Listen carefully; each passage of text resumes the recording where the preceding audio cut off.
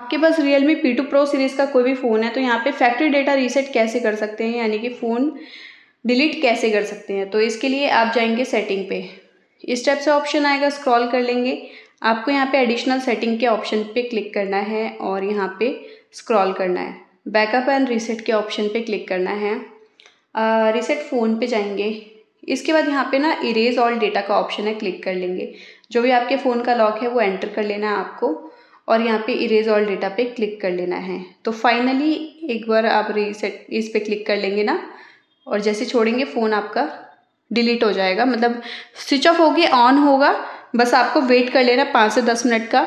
आपके फ़ोन में thirty percent से ऊपर का चार्ज होना चाहिए अदरवाइज़ फ़ोन में टाइम लगेगा ना तो फ़ोन कहीं स्विच ऑफ़ ना रह जाए, इसलिए सफिशेंट चार्ज रखेंगे।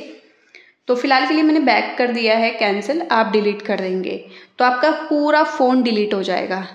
और इसके बाद सेटअप करने का ऑप्शन आएगा ऑन होगा तो अपने आप सेटअप कर लेंगे, जो भी आपको करना है। लेकिन कोई भी बटन आपको नहीं छेड़ना है ऑन होने तक। ठीक है, मिलते हैं नेक्स्ट वीडियो में, तब तक के लिए नमस्कार।